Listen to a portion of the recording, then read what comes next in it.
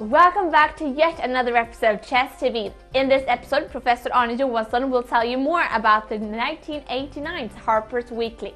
Albert discusses Machiavelli's theory of power in a chess context. Alfred and Adriana analyze the game between Ponomarev and Gelfand. And then we also have a chess puzzle with a checkmate in three moves. But first, the Women's World Chess Cup 2012, which was organized by the Uigurian Chess Academy in Khanty-Mansiysk from November the 11th to December the 2nd, gathered the top 64 players in the world. First, they played six knockout rounds from of two games, which reduced the participants from 64 to 32, 16, 8, 4, and then 2. In the finale, the third former women's world champion Antoaneta Stefanova was pitched against Anna Ushenina in four tough games. When the smoke had finally settled, Anna Ushenina was declared the winner and would get to play a match against current world champion Hou Yifan for the title. Congratulations and good luck! The London Chess Classics are finally here. Friday, November 30th was the opening of the fourth London Chess Classics, the strongest ever event in Britain. It started with some informal games, a press conference, and ended with a Twitter game. Over the next couple of weeks, we'll get to see some of the world's top players battling it out in London, like Carlsen, Aronian, and Kramnik, the three highest rated players in the world, world champion Anand, and super grandmaster Judith Polgár. Visit londonchessclassic.com to follow the event. The book Move First, Think Later by Willy Hendriks won the English Chess Federation's 2012 Book of the Year award. Move First, Think Later is one of the most original chess books that judges have ever seen for a number of years, according to the judges' report. The judges observed that the book, subtitled Sense and Nonsense in Improving Your Chess, contains a substance criticism of much of a traditional chess training and literature and praised the thought-provoking essays, the challenging chess exercises, and Hendriks' wit and sense of humor. Just something to maybe think about while shopping for Christmas gifts. The world champion Viswanathan Anand, his most recent challenger Boris Gelfand, the former world champion Vladimir Kramnik, and the rising star Fabiano Caruana will be competing in the second Zurich Chess Challenge from February 23rd to March 1st of 2013. They will face off each other in a double round robin tournament at the Savoy Hotel in Zurich. Following on from the 2012 Zurich Chess Challenge, which was a match between Kramnik and Levon Aronian, the main sponsor, Oleg Skvortsov, is making it possible for another highly attractive event to be staged by the Zurich Chess Club. The 2013 tournament marks the 60th anniversary of the legendary Candidates Tournament won by Vasily Smyslov and promises to be a highlight of the chess calendar. And now, everybody, it's time for Albert, so here we go.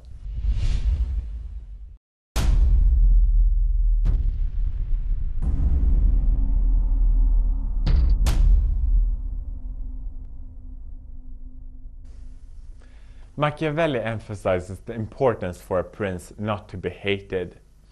And he even says that if a prince successfully avoids the hate, he has fulfilled his duty. It's enough to just avoid hatred in order to keep the throne. But despite this, many leaders want to be loved. And if not for their exercise of power, then for other stuff too, like North Korea's former dictator Kim Jong il, who wanted everyone to know that he's the best, strongest, and smartest in every way, and he even went as far as making up myths about himself. Like, for example, that he wrote poetry and operas, and that he, during his first golf match ever, played no less than five hole in ones. But he did actually succeed quite well. When he passed away last year, I saw TV reports of large crowds mourning him and crying hysterically. But as Machiavelli claims, it's enough to just not be hated. So how do you actually avoid the hate and despise as a prince? Well, you have to avoid appearing as fickle, frivolous, effeminate, or masculine, I suppose, mean-spirit and irresolute. And instead, the prince should show greatness, courage, gravity, and fortitude through his actions. Furthermore, a prince should, and this is important, keep away from stealing the possessions of his subjects. If a prince does this, he only has to control the hunger of power from a few, which isn't as difficult to do. But why care about avoiding hatred? Well, if the prince is not hated, it's quite hard to conspire against him. The conspirator will both have trouble finding allies, and he might also be discouraged to kill the prince if he fears that the people will be enraged. And even if the conspirator would have the courage to try, history shows us the importance of support from the people. Annibal, the Prince of Bologna, was killed by the family Canneschi, who, and only one little child from Annibal's family survived. But since Annibal was liked in the city, the people rose and killed the entire Canneschi family. Thereafter, they gave back the city to the little child who had survived. Machiavelli uses this example to show the importance of the people's support and their hatred. He also mentions that there are two threats a prince should take seriously, namely internal from the subject and the external from other princes. In chess, the threat from other princes is quite clear. We always play against an opponent. But there is also an in internal threat in chess. Playing with uncooperative and uncontrolled pieces is just as dangerous a threat. With loyal subjects or cooperative pieces, it's no challenge to defend yourself against other princes or the opponent. So keep away from the hate, because if the people hate you, they will oppose you as soon as they get the chance.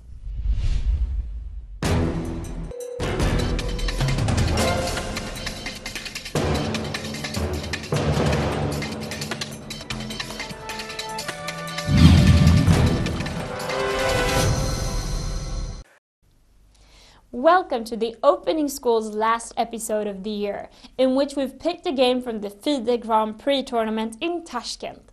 The game was played in the seventh round between the Super Grandmasters Ruslan Ponomarev from Ukraine and Israeli Boris Gelfand. There's a risk in chess of feeling limited by the opening stage of the game. You feel that you have to play a mainstream opening in order to even reach the middle game with an equal position.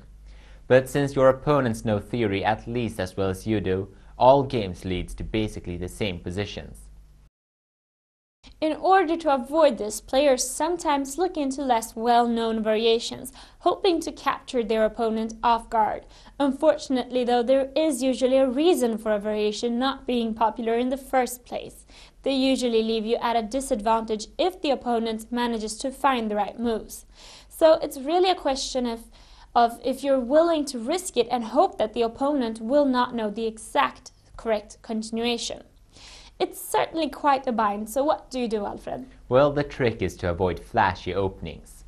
Uh, because they often look, focus on looking good instead of actually being any good. This might sound strange, but the fact is that attacks are extremely hard to pull off. Not only do you need to coordinate all of your pieces, but you also need an accessible weakness that you can exploit. And there is, are not many of those if your opponent at least knows to some extent what he's doing. What you actually should do is very well illustrated in the, today's game. So let us take a look at it. Ponomarev opened up by playing e4 against which Gelfand decided to play c5, leading us into the Sicilian defense, one of the most popular openings in the world. The game continued with knight to f3 and knight to c6, and if we think mainstream, we are somewhere in the middle of it right now. But this is where Ponomarev decided to play bishop to b5 instead of the extremely common d4. Note that bishop to b5 is also quite popular. It is a simple move, but it takes you far off the course from what would have happened after d4. Now e6 followed and then castle kingside, knight to g to e7, rook to e1, and knight to d4. You can barely compare this line to the usual Sicilian. Instead of focusing on capturing the center and quickly as possible, followed by a lot of st stabilizing moves, White has chosen a rather solid development without weaknesses, but without any clear goals either. But that's not much of a problem, since the reason behind White's weak attack is that he simply has not developed his position yet, and the same goes for Black, of course. After this, White exchanged knights on d4, followed by c3. Alfred, what should Black do here? Well, uh, you might be tempted to exchange on c3, especially since the pawn on d4 uh, can't be protected by playing e5. To exchange on c3 is not good, since it would lead to white getting total control over the center. Instead, black should play a6, forcing away the white bishop, in this case to f1, followed by knight to c6. White should of course not capture on d4. Instead, Ponomariov chose to develop his knight by placing it on a3. This was followed by bishop to c5, b4, bishop to a7, rook to b1, and castle kingside. This, the white position here might seem, well, not maybe not terrible, but weird enough not to be good. A knight on a3 and a pawn on b4 are not typically part of the ideal opening development. Right, but after b5, a takes on b5, knight takes on b5, bishop to c5, bishop to b2, and an exchange on c3, we have reached a position full of possibilities, and the previously odd development has actually become quite comfortable. So, what should you take with you from this game? Well, if you continue on the theme of playing unusual openings, I would say that the most important thing is to find a solid variation and not to deviate too far from the most popular lines. But if you choose the slightly less popular moves, you will reach a very different opening than you usually do without losing stability. Of course, we recommend you to go through the entire game as always, but with that, we will end this year's last episode of the opening school. See you again next year.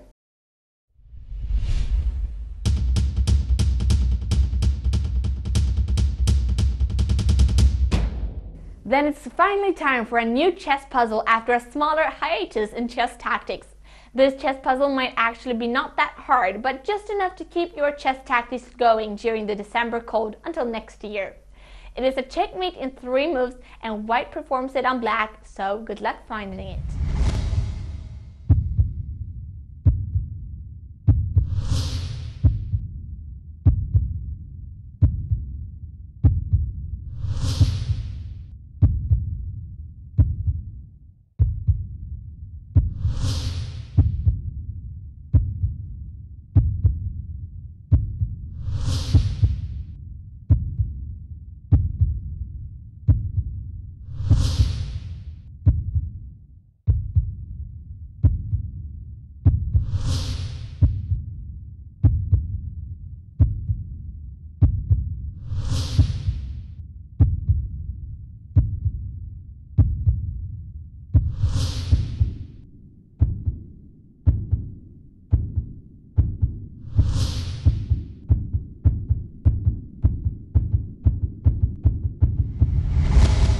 Well, I admit it may even be a little bit too much for this puzzle because it was not that complicated, at least that's what I'm hoping.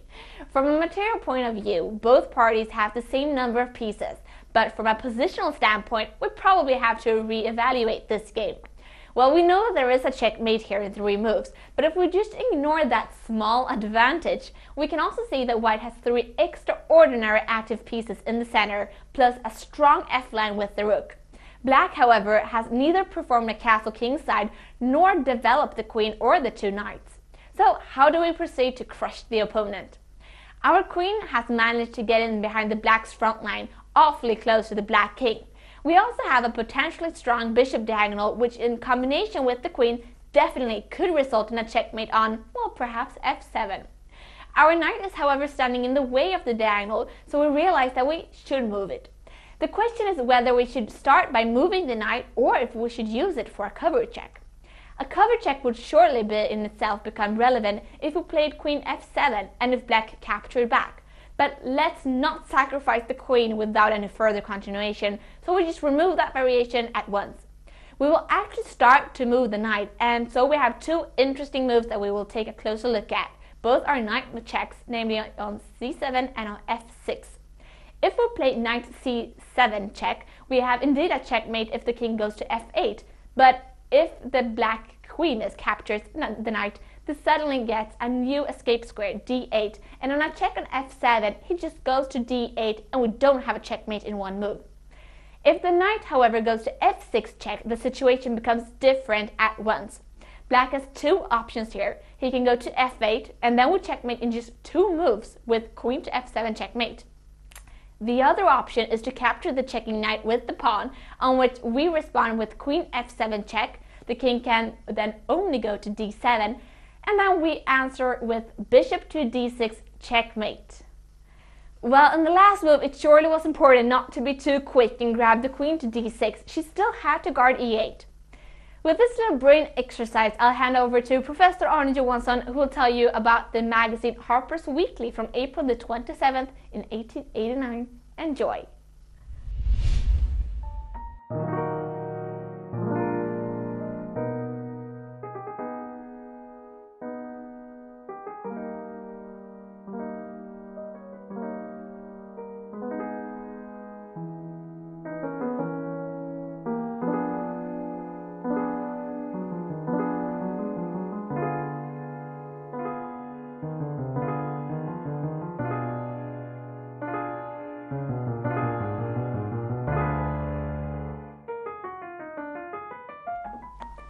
In the spring of 2008, I talked about the Sixth American Chess Congress that was played in New York in 1889 and mentioned that the very ambitious tournament book lacked pictures of the players.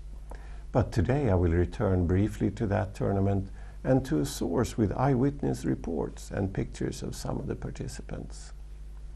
The source in question is the newspaper I hold in my hand here. It was published once a week in New York and has the title Harper's Weekly with the undertitle Journal of Civilization. This issue is from 27th of April 1889 and the first page has an atmosphere from a time very different from today. The contents are mixed and we can find a column called Personal where small and big issues are mixed and where we can read that the Countess Orosi, an Austrian noblewoman, has turned circus manager. And somewhat further down, that the Pope is said to be a capital chess player. Further down, we read that Carl Benjamin, a Newburyport sailor, who was cast away on one of the Caroline Islands nine years ago, has become king of the island and has 19 wives and 50 children. Well, in the mixed contents, we also find these pages with the Grant relics, with illustrations from an exhibition of Grant's personal belongings. Grant became known for his decisive role in the American Civil War in the early 1860s and later became the 18th President of the United States. And he died four years before this newspaper was printed. Among the ads in the paper, we can find the eternal theme of weight loss methods. Before we continue with the contents of the newspaper, I would like to say a few words about the Sixth American Chess Congress of 1889. It was one of the really great tournaments of that period, which was one when the interest for chess had grown tremendously after the World Championship match in 1886 between Steinitz and Zukertort. The world champion meant a lot for the development of chess in the US and was a forceful organizer behind the tournament, but uh, refrained from participating himself. Earlier during 1889, Steinitz had also beaten Chigorin in the World Championship match in Havana. The Sixth American Chess Congress was a gigantic double round tournament with 20 participants from both sides of the Atlantic and that lasted for a couple of months. One also had a rather odd rule that if a game had ended in a draw, one had to play an extra game, and it was only if also that game ended in a draw that the players got half a point each. Otherwise, it was the one who won the second game that got the whole point. Since these games were to be played after the last round, it was very difficult to know who actually was in the lead in the tournament. But after all the games were finished, one could note that the victory was shared between Chigorin and the Austrian Max Weiss. Gunsberg finished third, and the best American was Samuel Lipschitz, who finished in sixth place. Steinitz wrote the SICK tournament book, but as I mentioned earlier, it lacked any pictures of the players. But now it's time to return to Harper's Weekly, where we find this page with illustrations of what is said to be the four tournament leaders. From left we see Blackburne, Gunsberg, Weiss and Chigorin. In the accompanying text, we read that the first half of the tournament was finished on April 16, and this newspaper appeared nine days later. We can also read that the tournament attracted a large number of spectators, and we find short biographies of the four players, together with some eyewitness reports from the tournament. We can read that during the tournament, the appearance of the four men is very different. Blackburne sits at the table with his hat on and a pipe in his mouth, intently watching the game and pushing his adversary hard. Gunsberg, a light blonde, sits sipping seltzer, is very deliberate in his play and seems to be watching his antagonist out of the corner of his eye. Chigorin, black-haired, with swarthy skin and bright blue eyes, is much the best looking man in the room.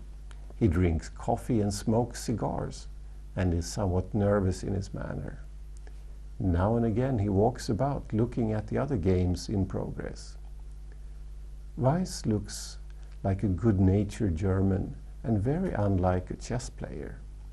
He appears to be neglectful of the game, but woe betide the player who forces him. End of quote there. The report also states that Weiss had a rather dull style, mainly aimed at achieving draws, but it turned out to be effective, while Blackburne took risks and achieved some brilliant games. Well, with this eyewitness report from the Sixth American Chess Congress, we leave Harper's Weekly and end for today and wish all viewers a Merry Christmas and a Happy New Year. Thank you so much for watching Chess TV. We'd like to take this opportunity to wish you all a Merry Christmas and a Happy New Year.